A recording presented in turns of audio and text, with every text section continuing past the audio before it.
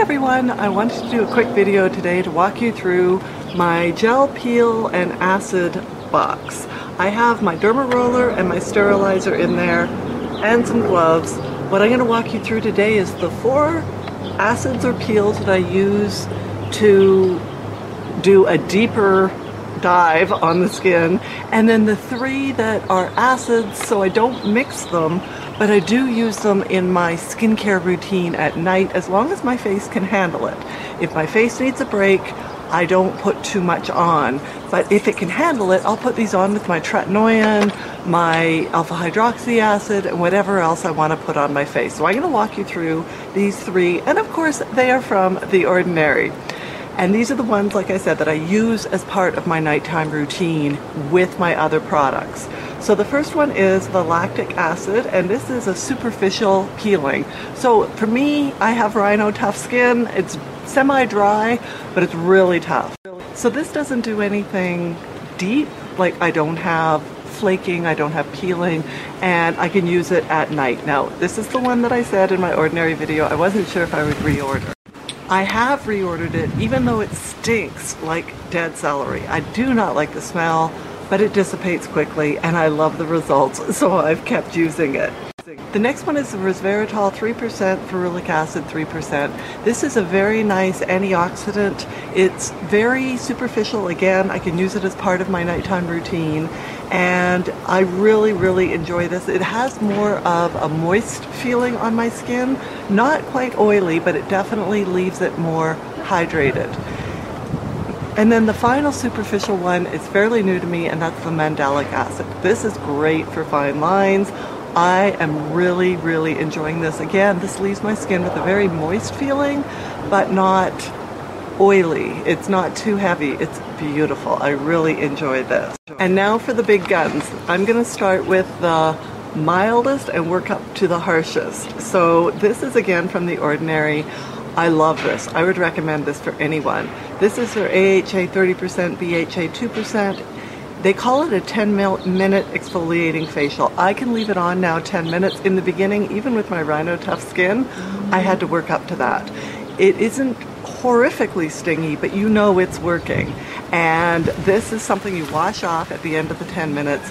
It's red and it leaves your face glowing and smooth and just beautiful afterwards. I think they recommend you don't use it more than twice a week. It is absolutely beautiful. I love this one. This is the glycolic 30% gel peel. I ordered this from Amazon. It is very strong, but you don't have to neutralize it because it's glycolic. So glycolic you can handle a higher percentage and wash off with water. TCA, which I'll show you in a minute, is a much lower percentage and you do have to neutralize it with baking soda. So this one you can just wash off. You also don't have to worry about it. You know, if you want to put it on with your fingertips, it's totally fine. Um, unlike the TCA that I'll show you in a minute. This is beautiful for really lightening up your skin, especially age spots. It's not going to be overnight miracle. The ones that I'm showing you next are the big guns. This one is the Perfect Image Revitaboost Peel Pads. There's 30 of them in here. They recommend you use them every week to two weeks. So I use it about a week and a half. 30 of them will last me a year, I anticipate. These are pads that you rub over your face. You do have to wear the gloves with this. This is a mixture of glycolic, TCA, mandelic acid, malic acid, and citric acid. So some of the other ones that I have separate, this is very convenient having it in the pad formula. It's 30 pads. If you do it every two weeks, even a little more than that, this should last you a year. I love these. I do wear gloves with them because they have TCA in them, which is very potent. And it burns on my skin. Now, I have rhino tough skin. It doesn't really peel. I get little flakes a couple of days, maybe three, four days after I use it. But it leaves your skin nice and tight and soft. If you have more sensitive skin than I do, you may get peeling with this. So be aware that plan your schedule accordingly if you need to hibernate. But for me, I'm okay using these even when I'm working, but they definitely, you can feel it. And I layer them, I do two to three layers, and I can definitely notice my skin. It's beautiful and it's tight. This is the last one and this is a serious one. This is a TCA peel. It's 20%. Honestly, I would not buy 20% again because it is so strong. I dilute it down with water and I don't have a video on it. Let me know if you want one. You have to use gloves and you have to neutralize it with baking soda afterwards. I'll put a link to this one as well as one that I would purchase instead that's lower.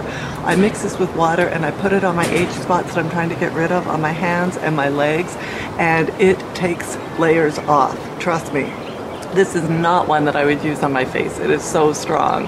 But those are the peels that I love. I don't do them every night. You have to listen to your skin but they are beautiful for freshening up your skin, causing the cell turnover, and keeping your skin tight and fresh. So if you have a peel you'd recommend that you do at home, please list it below. I love sharing, and thank you so much for spending some of your time with me. Sorry for the wind and the noise. I hope you had a great day, and we'll talk to you next time.